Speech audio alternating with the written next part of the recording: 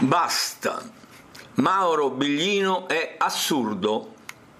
Egli è come un cieco che pretende di accecare con la sua cecità chi vede nella Bibbia il sublime e il divino.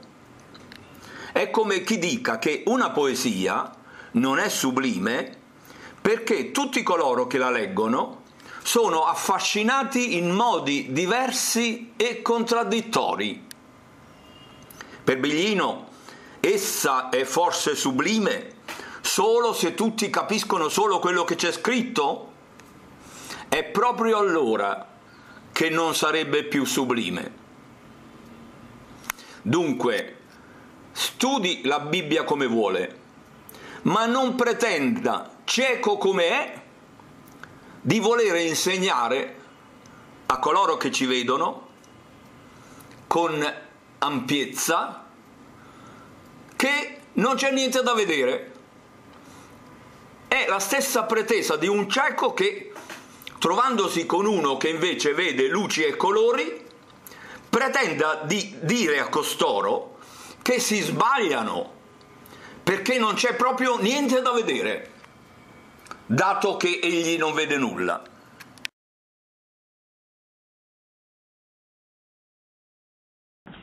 Questa storia di Biglino, che io ho affrontato con dolcezza, adesso la devo affrontare proprio con schiettezza.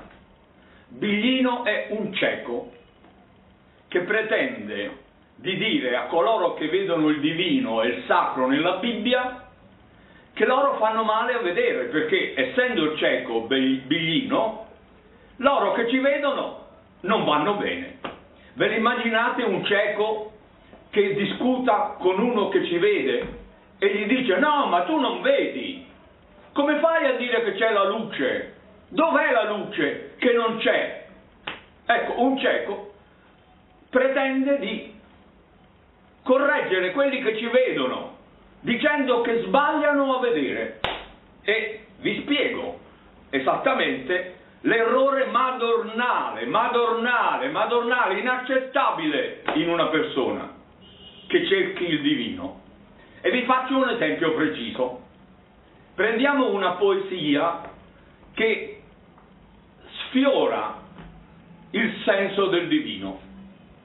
Prendo la poesia del Leopardi, l'infinito. Allora, questa poesia evoca proprio il senso di un trascendere, un divino nel mondo della poesia. Allora, immaginate che ci sono tanti che la leggono e fanno una bella discussione. Allora arriva uno e esprime il giudizio critico in questo modo la poesia mi suggerisce questo, questo e questo. Arriva un altro e lo corregge e dice, ma non hai considerato quella siepe oltre la quale io vedo l'infinito? È qui il valore. Interviene ancora un altro e dice, sì, però non hai considerato il momento storico nel quale si trovava il Leopardi. Interviene un altro ancora e un altro ancora. Di fronte a una poesia veramente leggiadra che ispira in infiniti modi, ossia sfiora il divino, ci sono cento reazioni diverse Interviene Bellino e dice, ah, allora non è divina. Perché? Eh, perché è confusa. Uno vede una cosa, un altro ne vede un'altra, un altro ne vede un'altra, dunque non è divina. Capite la sciocchezza colossale che fa Biglino? Biglino pensa che il divino sia indeterminato in una soluzione sola, unica, povera, e invece il divino è tale che lo stesso testo, visto da uno, è idealizzato in un modo, visto da un altro è idealizzato in un altro, visto da un terzo ancora è idealizzato da un altro ancora. Così ci si comporta davanti a una poesia sublime. Il sublime è simile al divino, perché eleva il sublime. Ora, di fronte alla Bibbia, che è un libro sublime e suscita questo, ci troviamo di fronte a queste condizioni. Mentre la poesia del Leopardi è precisa, eh? lì il testo, le virgole, tutto è preciso e quindi già le reazioni sono delimitate soltanto in certi aspetti di trascendenza. Nella Bibbia è ancora di più, perché? È perché date tre consonanti, se ci metti la o la E o la I, hai il modo di trascendere ancora di più, perché quella parola lì può significare questo, questo, questo. Allora, se le reazioni di fronte alla poesia infinito sono limitate, il modo di vedere la Bibbia che ogni traduttore ha lo porta a vedere nella Bibbia quello che cerca e lo vede, perché di quelle parole, tre consonanti, ci vede una E e non una A. Sbaglia? No, perché tre consonanti permettono di vedere la E, la I, la U. I mazzoretti a un certo punto si sono messi lì a codificare quali erano le vocali. Ma io boccio i maggioretti. Perché? È perché erano solo le consonanti. Aggiungere le vocali riduce l'interpretazione. Riducendo l'interpretazione diminuisce il senso del divino. Il senso del divino si ha proprio quando tre consonanti possono evocare una parola, l'altra, l'altra, un contenuto, l'altro, l'altro. E più contenuti vasti sono ottenuti, più andiamo verso il divino. Cosa dice invece il genio di Biglino? Eh no, errore. Ah, polenta. Sì, perché? Andiamo nella polenta, perché una parola può essere questo, può essere questo, può essere questo, allora non è un discorso divino, è proprio un discorso divino.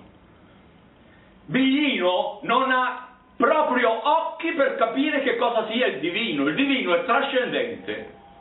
Se una parola fosse precisa, già il modo di trascenderla, visto che è precisa, è limitato.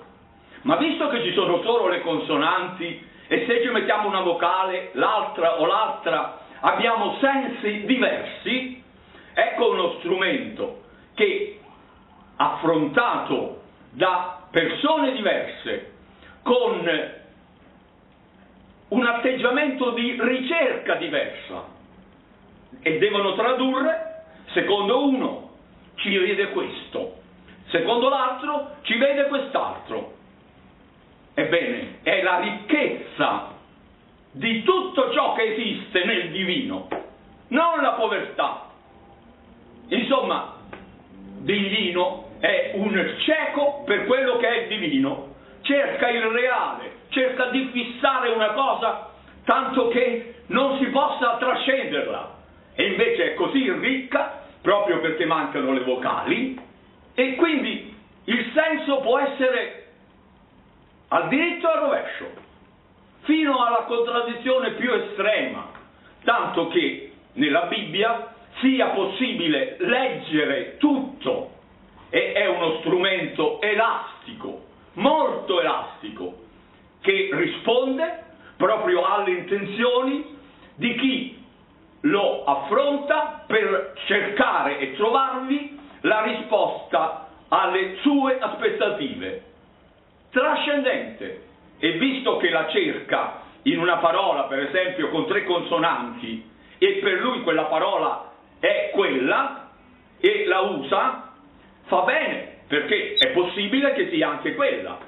Un altro dentro quelle tre consonanti vede un'altra parola, ecco un altro modo ricco di vedere nel testo ancora di più, andiamo più verso la generalità di una opera trascendente, di una opera sublime.